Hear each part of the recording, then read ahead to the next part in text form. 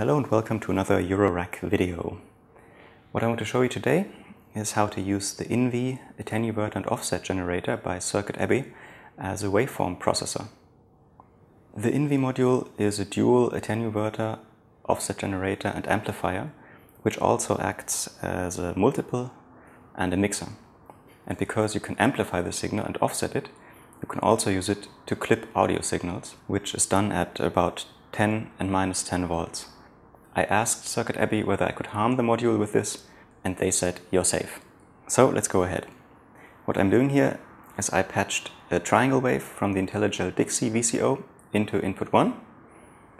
So the signal goes to the first attenuverter and offset block, and then out of output 1 into input 2, which sends it to the second attenuverter and offset block, and from output 2 it goes out into the mixer into the recorder.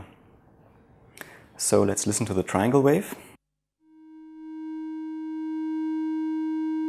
And on the oscilloscope we see that it's just a regular triangle wave and the Invy is set up so it doesn't do anything to the signal right now.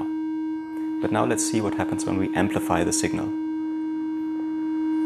It gets louder of course, but it's still not clipping. So let's offset it. And here we go. We see that the signal is clipping and we can also hear it.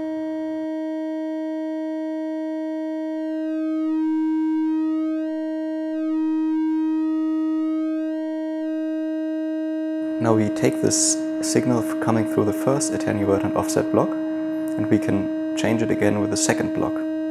So we can offset it downwards, for example, amplify it again, and when we combine this, we can clip the signal at both ends.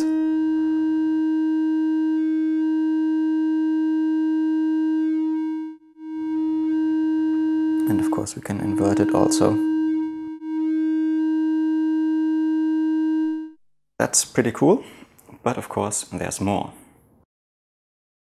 Okay, what I did now is I unplugged output 1 and plugged a sine wave from the Intellijel Dixie VCO into input 2. Like this, the Invy behaves like a mixer, so each of the signals gets its own attenuverter and offset block and is mixed together at the end. Let's listen to it. Alright, that sounds like a sine wave and a triangle wave mixed together. And we can also see that on the oscilloscope. So now let's start amplifying, offsetting and clipping the signals.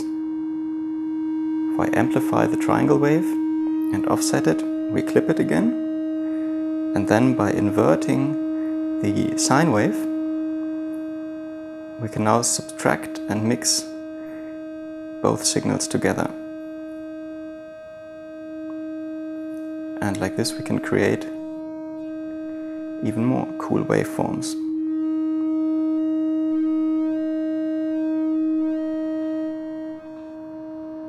Right now both waveforms are at the same frequency, but you can of course mix and match them as you see fit. If you have a second Invy or a second offset and attenuverter, you can get even more creative. That's it for this video. Thanks a lot for watching and have fun patching your modular.